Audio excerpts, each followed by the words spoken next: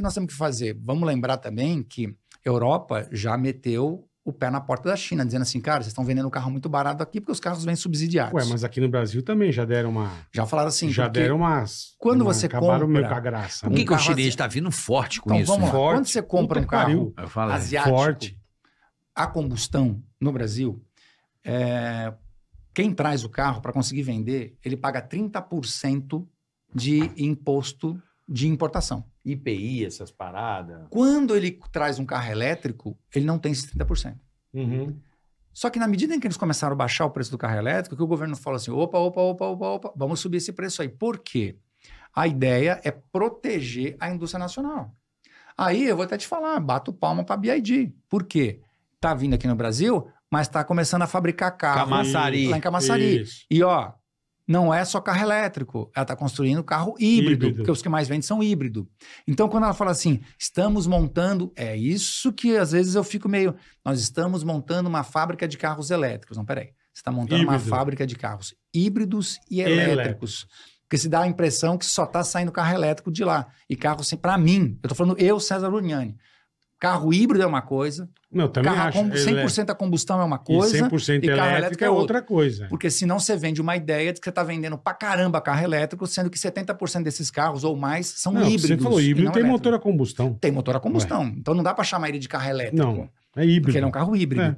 Então a BID entra no Brasil fabricando o carro na antiga fábrica da Ford de Camaçari.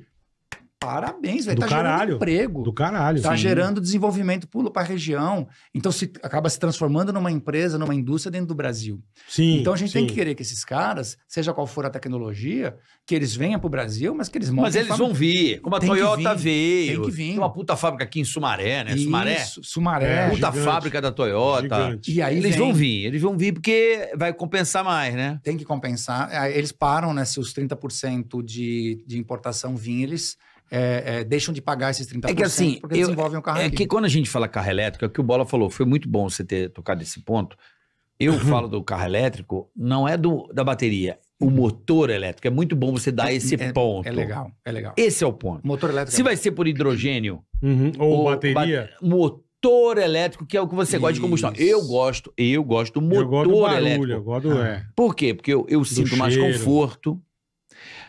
Cara, só de não ter que trocar óleo, esses lubrificantes. Mas você não tem fluido de nada. E dois, os componentes para se produzir o carro são muito menos pé. Carro tem bomba de gasolina, bomba de não sei o quê, é não sei o que lá. Não, é, é, complexo. é muito complexo. Radiador, o caralho. Quantas é. peças para ser feito um motor e, o, e o motor elétrico ele é muito simples. mais simples. Eu acho que a indústria, com a quantidade de, de carros vendidos, a linha de produção, Uhum. vai baratear cada vez mais. Sim. É o que eu acredito. Sim. Agora, você me trazendo essa novidade do hidrogênio, Isso é que eu ainda- maravilhoso. que eu tenho pô. dúvidas, por exemplo, Uhum. como é que será feito, como é que você viu lá na Alemanha? É, é- é o que? Abastece uma vez por, por mês? Como é que é? Exatamente como você abastece. Existem as duas, existem as duas Ah, formas, tá? Aham. Você pode ter o hidrogênio líquido, você Aham. pode ter o hidrogênio Gás. gasoso, gás, tá? É, mas vamos falar do gás. É exatamente como você hoje entra na, num posto de combustível, Um você tem gasolina, um carro GLP. gás. Não, qual a autonomia disso? Só para eu ter uma noção. Legal.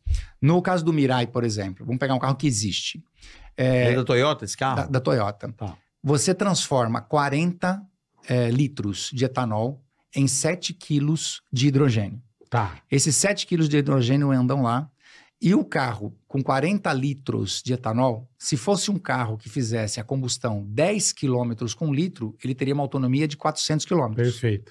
7 quilos de hidrogênio no Mirai leva a 700 de autonomia. Caralho. Então você abastece a cada 700 quilômetros. A vai, cada vamos dizer 700 assim. quilômetros, exatamente. Você vai lá e abastece. Isso. Quer ver uma Qual é a outra? quantidade disso em litros ou metros cúbicos? Como é que é? É, são em quilos, né? Em quilos. São 40, 40 litros de etanol se transforma em 40 7 litros de quilos de, hidrogênio E, verde. e tem outra vantagem: Pra caralho, porra. o tempo de Não, abastecimento. e sabe o que, que sai pelo escape? Rapidinho. Ele não tem escapamento. E sabe o que é que sai por um, por um. Eles chamam de expurgo?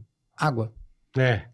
Água. Isso aí é água. é. Então é lindo, assim, sob o ponto de vista de meio ambiente, cara, Porra. é fantástico. Então, eu acho que, que, que isso vai ser provavelmente. Vai substituir É um a bateria. Agora, me falaram, eu vi isso em algum lugar, Hum. que é um pouco complexo produzir esse hidrogênio líquido, aquele verde, né? Aquele, É, o é um- hidrogênio. é- não é uma coisa assim. Fácil. É um pouco Não, complexo. é assim. Custo em relação a custo, né? É, é, como tudo também, né, tende Ah. a diminuir. O que acontece? O hidrogênio verde hoje ele também está sendo usado para abastecer as indústrias que têm geradores a diesel. Então, Tá. no Brasil, por exemplo, já se produz o hidrogênio verde e que é exportado para indústrias que têm caldeiras e não sei o quê, não sei o que, lá, e que usam muito diesel. Então, eles estão trocando os geradores a diesel pelo, hidrogênio, verde, entende? Do caralho. É, por exemplo, a China, ela usa hidrogênio verde lá, porque em vez de gerador, quando acaba a luz, um gerador a combustão, o gerador deles lá é a célula de combustível usando o etanol. Eles Ah, já é? usam não o polui etanol. nada. Exatamente, não não, polui, polui nada, nada. zero. Então, eu Hum. acho assim, carro elétrico tá aí. É, eu acho que para algumas pessoas, como o seu caso, por exemplo, o híbrido, ele vai se encaixar. É, o momento, assim, o melhor carro para o momento. E, e vamos lembrar que carro elétrico sempre existiu, né? Você pega Pô, aí Gurgel. o ônibus, Gurgel, O Gurgel Então, fez Trolebus, elétrico. né? O É, o trolebus. trolebus. Trolebus, é, Então- tinha uns ferrão lá. No ônibus é do cacete, cara. É, num caminhão de lixo à noite que fica fazendo barulho, Porra. elétrico. Os Vuquezinhos que andam Agora, outra cidade. coisa, Cezinha, tipo, que nem já se produziu, acho que bastante carro elétrico, 100% elétrico. Sim, sim. O, o tempo de uso da bateria. Uhum. Depois, Vida útil. Vida útil. Depois o descarte. Como é que funciona? Isso é uma puta poluição também. Então, O o que, descarte das baterias. o que que acontece? Eu conversei com uma indústria que está no Brasil, que ela é uma das primeiras a trabalhar com essa questão da reciclagem. Tá. É, eles reciclam hoje algo em torno de 700 toneladas, só que de bateria de celular. Só Perfeito. 5% dessas, dessas, dessas 700 toneladas é de carro. A de pilha, Só que tem um detalhe: depende da bateria. Quando a bateria ela vem da Europa e o caramba tal, eles conseguem reciclar ela e fazer com que o fósforo e outros, outros ingredientes ali, eles sejam reutilizados na indústria do agronegócio para fazer defensivo agrícola, não sei Tá. o quê, barará, barará, que precisa desses componentes. Fertilizante. Só que existe uma bateria, que é a tal da FTP, enfim, que você só consegue tirar dela o lítio. O O resto, resto não. aterro. Isso Puta custa e alguém tem que pagar essa conta. Ah, César, você leu isso. O dono da indústria, que hoje Te tem falou. um banco por trás para impulsionar isso, falou: alguém tem que pagar essa conta. Porque uma parte importante da bateria vai para aterro sanitário. Tem que enterrar esse negócio. Tem que dar. Porque ele começou a falar assim: nós temos que dar destino. E não me explica melhor. Exatamente. Tem Então, que dar destino. Seja mais claro, o que é dar destino? queimar é fazer o quê, caralho? Incinerar, É, é. enterrar e os cambal, e isso custa.